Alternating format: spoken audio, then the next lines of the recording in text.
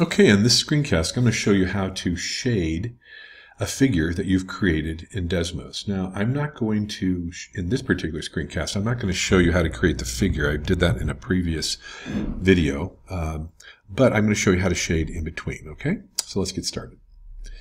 Now, it's probably, you can't really do this all in one fell swoop, okay? It's probably best to do these in sections. It's something like I tell my students, difficult problems are really just a series of simple problems that you stack on top of one another. So I think in this particular video, we're going to shade this half first, and then we're going to shade this half second. I'll show you how to do that.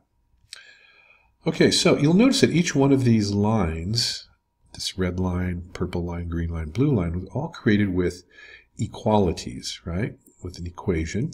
And then I limited the domain up here the x value, which means I've limited how far it will go along the x axis, right? Nothing, nothing greater than negative 4 in that direction, or less than negative 4, and nothing greater than 0 up here, for example, in the red. Now, what I want to do is I want to change these to inequalities. So let me just copy that real quick. Let me put it down here, and I'm going to change this to an inequality. And you'll see what happens. Let me just change that. It's a little bit dark. Let me change that to that color. You'll see that the shading now goes from everything that's less than x plus 4, which is this line, and it shades down. Now, how do I get it to go down to here? So what I want to do is I want to take this particular line and then shade everything up, right? And remember this line here was this one. So I'm going to take the equation part of the x, negative x minus 4. Let me just copy that. And I'm going to go down here and create what's called a compound inequality. Now remember that just means that um, you have two basically sets of instructions within the inequality. So let me put that in there and then let me make, uh, sorry, let me try that one more time. Let me put that there. And let me put it right there. There we go. Now look what I did. Let me just go ahead and highlight the inequality part. I'm saying that everything between negative x minus 4 which is right here, I want to go greater than. The y is going to be greater than that, right? So that's what this means. And then everything from x plus 4, which is up here, I want everything down below. And again, I'm limited by the same domain.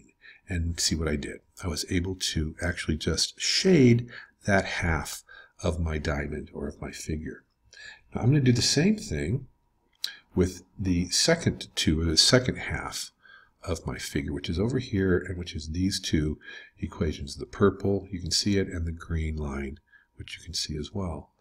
So let me just go ahead and take my green equation. Let me copy it real quick. And I'm going to put it down here. And instead of an equality, let me make it an inequality. And again, whoops, let me do it this way. There we go, because I wanted to shade up into the figure, so I did that. And I'm going to go take the purple part, which is my last part, and just that section of those sets of instructions, okay? Let me just copy that. And I'm going to put it in front of the y. But don't forget, I also need to change the inequality, so I'm going to put the plus. I have all the inequalities pointing in the same direction. And there it is. Now I've shaded the entire figure. The other nice thing I can do here is I can go back and change the color so that the shading is all exactly the same. Okay. Now you'll notice that these two compound inequalities is enough to create the shaded figure. I actually don't need these guys anymore, which was my original uh, my original lines that we're creating here. Now notice that the lines are broken here. If I wanted to change that, I would just go down here. Let me find my, there we go. I'm going to change that to greater, less than, or equal to, and you'll notice that the line now becomes solid. Same thing with this one. Line becomes solid This one, line becomes solid, and this one, line becomes solid. And that's how you shade a figure in Desmos. Hope that was helpful.